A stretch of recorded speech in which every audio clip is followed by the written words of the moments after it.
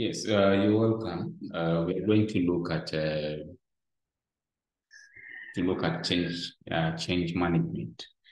Change management is an important uh, uh, aspect, especially in in healthcare. And in this presentation, we are going to look at the management skills that you you need to have in order to manage change in any institution. What usually happens is that uh, uh, uh, in a healthcare organization, uh, you have a lot of things happening. Uh, it could be that there are new forms that have been introduced, there are new medical forms that have been introduced. Uh, maybe there are new, um, the, the, the management is introducing uh, electronic medical record systems. Uh, so these are some of the initiatives that can really happen in a healthcare organization. So mm, you need to make sure that um, people can adopt these new changes uh, for the effectiveness and efficiency of uh, providing healthcare delivery services uh, to the clients. Uh, so this is basically an illustration that uh, healthcare industry is actually very, very dynamic. Uh, a lot of things happen. Uh, a lot of changes happening within the industry. And this actually uh, contributes to the fact that uh, uh, healthcare managers need to, to need to, to know how to transition or how to manage this uh, how to manage these changes. So that is what we are going to look at. What models can you apply? What theories can you apply? Um, and and uh, what communication competences do you need? How do you manage resistance? So those are the key things that we are going to look at in this presentation.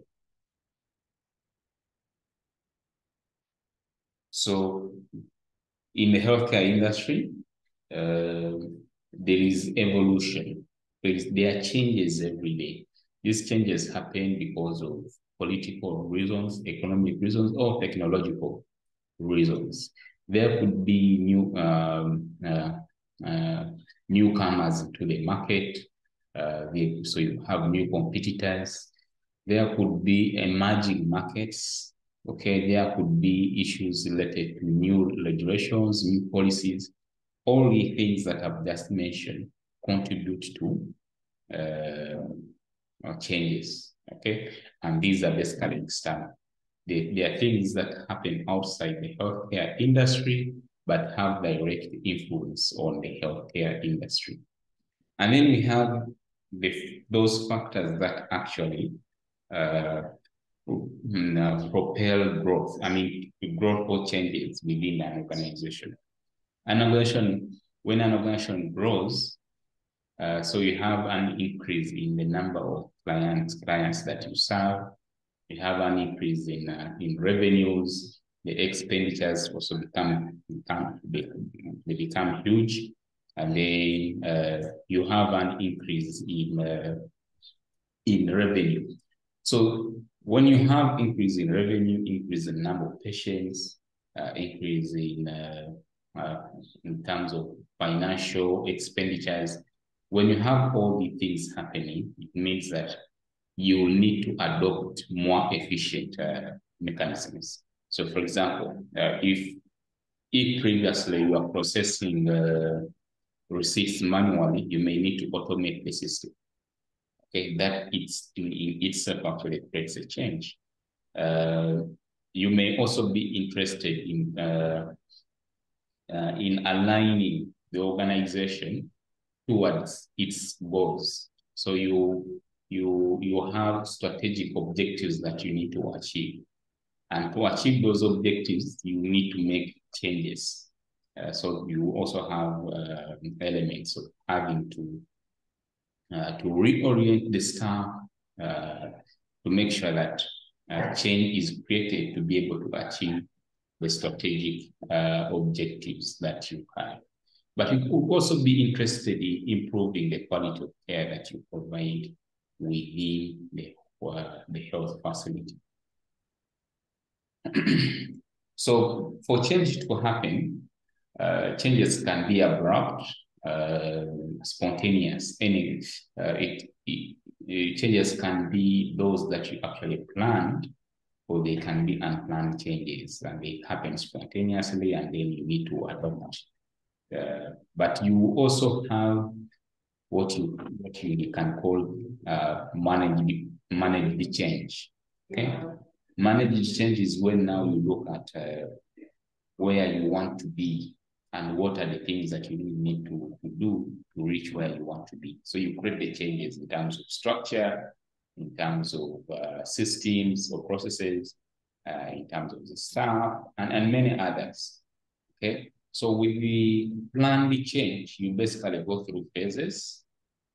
Uh, that is planning, uh, implementation, then evaluation. When you plan it quite well, uh, you ensure uh, you will have minimal disruptions and the transition to the new, uh, it could be new technology, new systems, whatever it could be, that transition could actually be smooth. So the key things throughout the whole process that you need to take note of. One is that understand the stakeholders involved and how you really need to handle the different stakeholders. Okay, so you need to have the skills of stakeholder analysis, stakeholder management. And then you need to have the ability to, to plan communication uh, or we need to have a communication plan in place for the different stakeholders, all the different staff members who could actually be interested uh, in the activity that is being implemented. And then uh, for the new staff, they need to be, um, for the staff, they, they have to be trained uh, on the new uh, technology or the new systems or processes that are actually uh, very very key. Uh, so just a, a moment. Uh, just a brief moment here.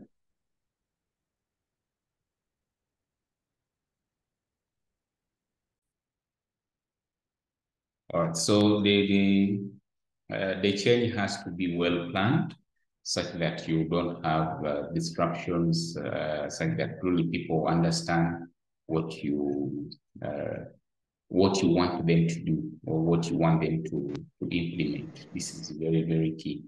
Uh, so I have reached an extent of explaining to you that you really need to understand who would be the people that actually have interest in the change that you you are you want to institute, and therefore you need to do what you call stakeholder analysis, and then you need to have a communication plan, and then train the staff on the new, uh, the, the new, it could be a new system, it could be a new procedure, whatever it is, you need to train and actually develop their competencies. And then you evaluate and see uh, whether the change that you have instituted has actually given you positive uh, results or uh, you need to make more changes to make sure that you have positive results. So usually, uh, instituting changes in an organization is not very easy. And when it comes to the healthcare setting, it could be more difficult. Why? Because one, you deal you're dealing with professionals who are who are coming from diverse fields. Uh, we have doctors, we have nurses, we have midwives, clinical officers, and the rest. Uh, handling such a diverse group of uh, of people is actually quite challenging and difficult. So you have people who will be resistant to change. Uh, then uh, that is a challenge that you will need to navigate as a healthcare manager. Uh, but also the other issue is that if you don't communicate properly, and that is why we emphasize the key, the word planned communication. You need to, to think about the communication plan uh, in advance. How are you going to release out information? Uh, that is very key. Communication uh, uh, allows you to be very transparent. Okay, uh, if you don't communicate um, appropriately in a timely way, then uh, uh, you're creating aspects of doubt. So people will not will not actually trust what you're saying. So to be uh, to be trusted, uh, you need to be very transparent, and then you can remove any doubts associated with whatever change that you are actually instituting. Uh, sometimes you want to institute a change, but you don't have enough resources or equipment uh, to be able to manage uh, or to be able to implement that change. And then uh, we have what you call organizational cultures. These are norms, these are beliefs that members of a given organization have. Okay, uh, so these organizational cultures can actually prevent you from instituting you know, changes within an organization. But of course, you can have a lot of other uh, challenges that you can face. Sometimes uh, the, the, the people that you want to change do not have adequate training. Okay, they have they have not they, they, they have not been trained in what they need to do. Okay, they they are even their moral their or their level of motivation. So these are other things that could actually uh, make change management very, very difficult. So you, you need to address these challenges uh, through different uh, uh, mechanisms. One is make sure that you engage the stakeholders. Uh, stakeholders are people who have interest in what you're trying to, uh, to put across. Um, so need to engage them uh, and also uh, be open with them, communicate, have a, uh, an op open communication strategy. This is very, very, very key. Uh, so your, your communication should be clear and very transparent. Make sure that you have adequate resources. The staff need to be trained on whatever change that you want to institute. Look at the issues to do with culture and then address them.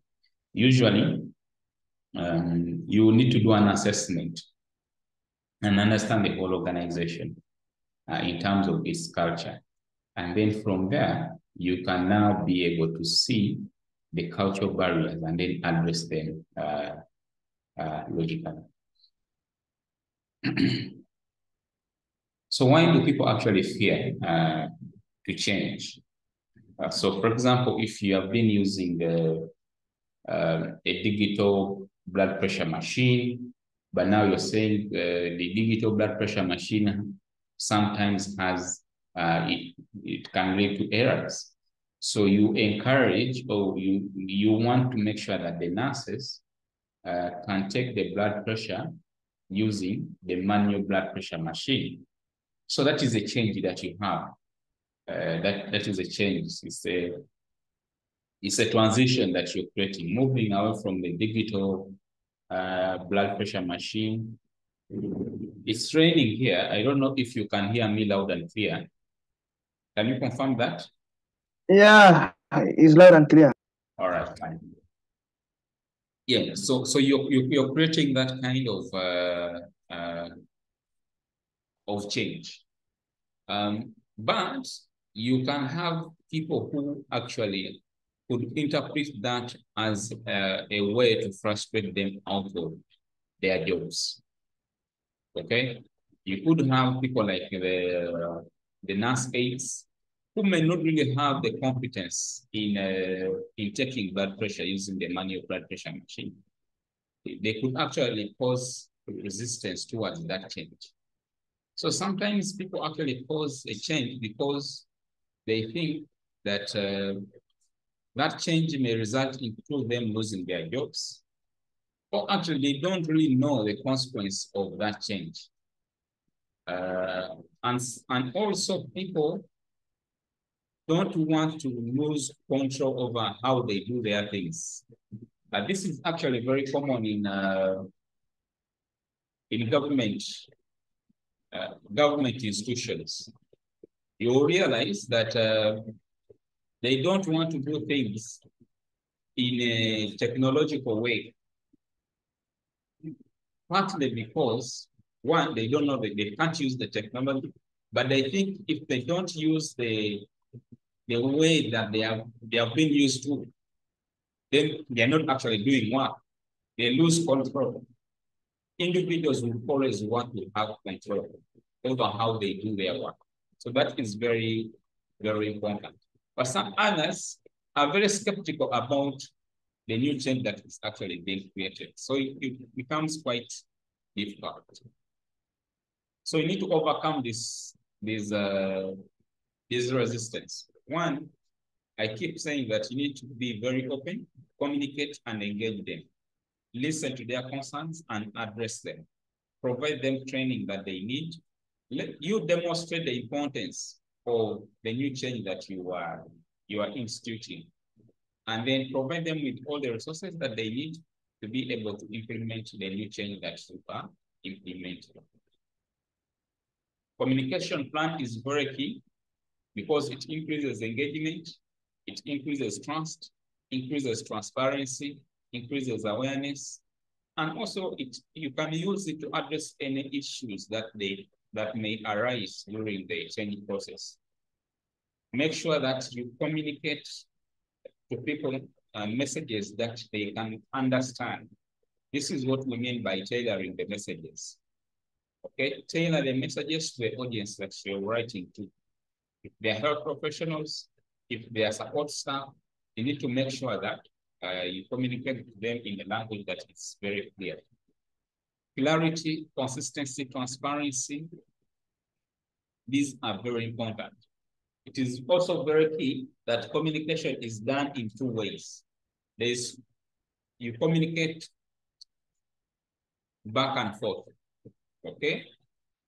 Back and forth, uh, that they can actually be able to uh, to follow up with any previous. There is follow up in messages that you exchange um, the different people. You can still use technology in instituting change management. Okay, uh, this is very important because it one it improves communication, but also improves coordination. And then the other aspect, which is very very key in the in healthcare industry in this generation, is what we call data analytics. You use data to to to convince people or to make people understand the importance of certain changes within a healthcare organization.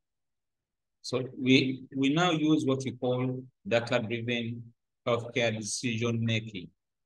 You don't make decisions from the blue, but you use data to be able to make those decisions.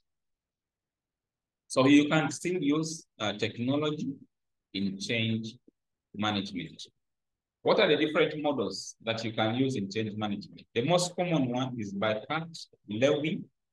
This um, this management model has three stages. It recognizes that it recognizes that uh, change happens in three stages. The first stage being the unfreezing, which is basically letting people know about the need for a change.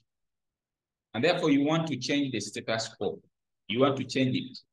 You want to change the way things are done. So you communicate to them about the fact that there is a need to have the processes or the procedures changed. When you do that, you are freezing. Okay? And then the next step is now implementing the, the change. This is what we call moving. During this process, people may resist the change that you want to implement. But you need to be able to address this resistance. And you also need to provide the necessary support, training, resources, everything that is needed to make sure that the, the, the, the change is actually uh, implemented. Then the next or the last stage is what we call the refreezing.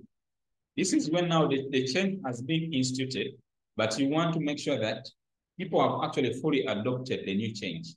This is about stabilizing or reinforcing the new procedure, behavior that you really want, so that it becomes part of the organizational culture.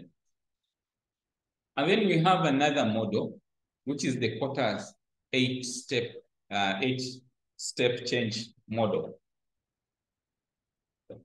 With this model, there are eight steps, okay? And that for you to, to, to, to make sure that change happens within an organization, you need you can go through all these eight steps. First step is that you need to create a sense of urgency. Communicate to people they need to have a change. Such that people start to feel it within themselves that actually there is a need to, for us to change how we do things. That is one. Two is that form a powerful coalition. This means that you need to, need to get a group of people together who will champion the change. So you need to have that team who we can call the, the, the change champions. This, this, this team will consist of people who are passionate about the change that you want to create, but they're also aware of everything that is associated with the change and that you they actually gain enough support from the key stakeholders uh, in uh, the key stakeholders in the healthcare industry. And then we move to the next one, which is basically uh, to, you need to create a vision. You need to show people where you want them to, to be or where, if the change has been instituted, where the organization will be after instituting that change. That is very, very, very key. So create that vision and then communicate that, that vision. Okay? Then the next step now empower people to act. This is when now you either train them, you make sure that they have the competences to act. You, you basically even delegate some of the authorities to them, such that they can be able to be, uh, to, they can be able to to implement the change that actually wants. It is very important to register the first wins. This is to say that the first steps are very important and they need to be recognized. So you need to generate those first wins. We are calling them here generate what we call the short-term wins. For every for every step that they make, it, it, it lays the foundation for the next bigger step. That is very, very important. And then now, step number seven is that you need to consolidate the gains. Build on the short successes that you have to build to, to build a foundation for the long-term gains that you will have. And then the last step is now to integrate the changes into the organization organizational culture. This such that it becomes a new norm that has been accepted by the, uh, by the staff. So as a healthcare manager, you need to understand who are the people who are actually going to be involved in the change that you are going to institute. You need to have what you call state, uh, change, change sponsors, change agents, change champions, and the impacted stakeholders. The change, the, the change champions, or the, the, let us start with the change uh, sponsors. This, this can be a senior leader who is accountable for the change initiative. The person who wants to make sure that that change happens is the one we are calling the change leader. Just a minute, let me pick this call. Um, let me pause this. So you need to know who's um, who's accountable for the change that you want to be instituted. The, the individual who is responsible for driving the change is what we call the change agent. And then the change, the change champions are those who promote and support the change within their different departments uh, or teams. And then the different stakeholders who may be uh, impacted by the change that has been instituted.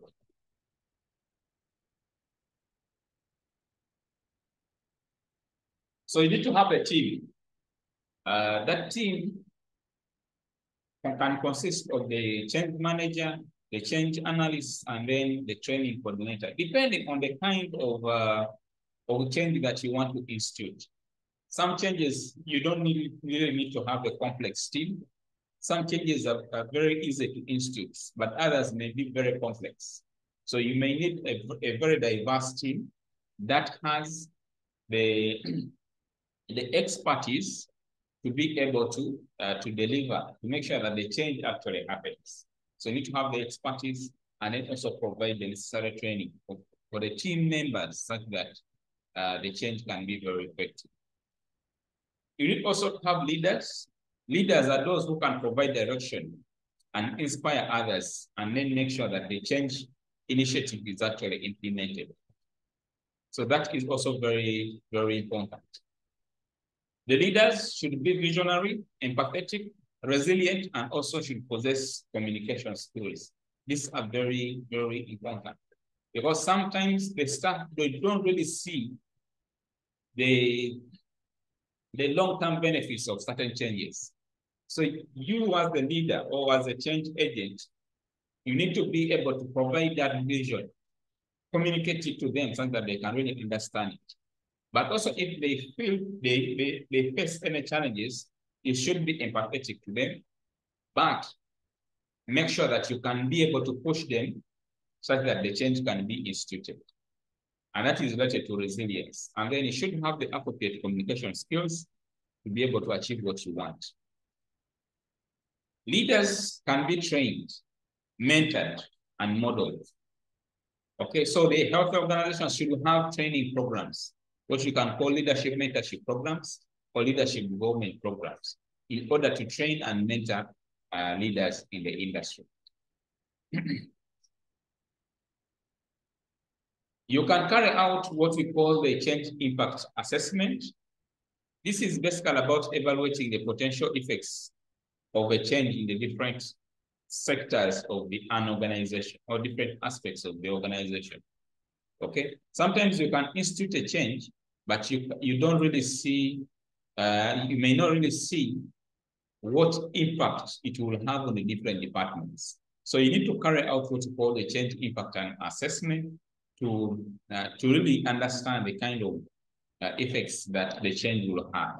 You look at process mapping, risk analysis, and stakeholder analysis uh, consultation as ways of understanding the impact of the change that has been created. If you, if you conduct an, a change impact assessment, you're going to minimize disruption, okay? Uh, you're going to make sure that the patients actually at the center of the care. This is to make sure that they are also consulted um, on any changes that may be implemented. And therefore, you'll have optimal patient outcomes in the settings of healthcare. so how do you implement these changes? You can roll out changes at once. This is what we call the Big Bang approach. You roll all, you roll out all the changes at once. You say, starting from today, we are going to change this, change that, that, that, and that. But you can also decide to say, okay, this week we are focusing on that, on this, and then next week we shall focus on that, and then the other week, just like that, in a phased way. Um, how you choose to to to to implement certain changes depends on what you think is actually appropriate. Uh, depending on the complexity of the change that you have and the context and other, other things that uh, can influence uh, successful implementation of a change in a healthcare organization. Training is very important uh, for all the staff who are involved in adapting the new change. It addresses any needs that may arise. Sometimes they need technical uh, technical uh, knowledge on how to, to, to, to use technologies, if they're technologies, or um, if they're clinical skills, they need to be trained and things like that. So that is also very, very important. You need to make sure that you evaluate the change um, that you have instituted. So that means that at the start of the project or the or the, the start of the change initiative, you need to have what you call baseline data uh, that you can use to measure success at the end of the implementation uh, of the change initiative. Uh, so you can use different strategies of collecting this data. Uh, they can be surveys, uh, questionnaires. You can use data analytics to, to arrive at that. So you can use what we call key performance indicators and metrics. You, the organization may have certain targets that they want to really achieve. So um, you can use those as benchmarks uh, for, for evaluating the, the change that has happened. So you, you can carry out a pre, pre-change or pre-implementation uh, review and then the post uh, review. So you look at what happens before and what happens after. What has changed? What have you learned? And then uh, you can adjust accordingly. This data is used for you to make sure that you make adjustments such that you actually improve the systems and, and the strategies to achieve better results. you can use a number of resources to institute uh, change. Uh, you can you can use software programs. Uh, they can be project management programs. They can be collaborative platforms and many others uh, that you can use. So you can use software or computer programs uh, in instituting a change uh, within an organization. Making sure that people really adopt the behavior and they incorporate it into what you call the organizational culture is very, very important. So to, to have that, you need to make sure that the, the change is aligned with the values and the missions of the and the mission of the organization. Make sure that the change is actually reflected in the policies, procedures, and performance management. And also that you, pro, you continuously reinforce and train people about the change that has been instituted. Okay, continuously use data. Uh, people want to want to implement a change if they see the need for it. So data can actually provide a very good resource to make sure that you can actually uh, uh, make sure that people are actually aligned uh, to what you actually need. So you need to recognize uh, successes that have been registered and that from the one go, you involve, you involve the employees such that they can take ownership and accountability of the change that has been instituted. Sometimes cultures can be a, a, a barrier but you need to make, make sure that you, you engage the employees, uh, train them, uh, make sure that, that you exhibit what you call inclusive leadership, and uh, leverage diversity to enhance innovation and resilience within the organization. Make sure that uh, people don't, don't, don't feel marginalized. They, they, they need to feel like their views are actually, they are heard and they are actually listened to. That is very, very important. Changes can happen when organizations meet, I mean, few, I mean, uh, integrate, what we call mergers. Uh, um, when, organ when two healthcare organizations uh, come together and work as one entity, that's what we call mergers. When these actually happen, there's a lot of uncertainty okay, in terms of processes, in terms of uh, employee stability, they are very, very uncertain. What is very important during such situations is that you maintain clear communication, the stakeholders are well in, um, engaged, and that there is cultural integration. That is very, very key. Agile, uh, agile change management is also a very important approach in, in managing change. You need to make sure that uh, you use a flexible approach. You continuously learn the system and, and then improve it. So it involves flexibility, collaboration, and continuous improvement. These are very key aspects.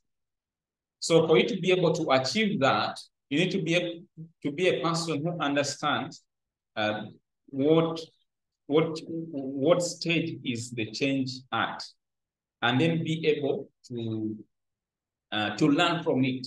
Okay, uh, make sure that you, you are very responsive and open to any changes and feedback that comes from stakeholders. Collaborate with the, with the key stakeholders and continuously improve. That is basically what about uh, what agile change management is. Learn, respond, adjust, talk to people, engage them. That's very important. Start with the what we call pilot projects. Don't go wholesale. Start small. Re receive feedback, analyze it, readjust the system, and then move forward. Those are very important steps. Make sure that people understand the vision and goals uh, in the desired change that you want to get. Start slowly, break down the changes into smaller manageable uh, parts, and then execute them. Get feedback, adjust, start again. That's very, very key. So you can use a number of tools. Uh, we have the Kanban board.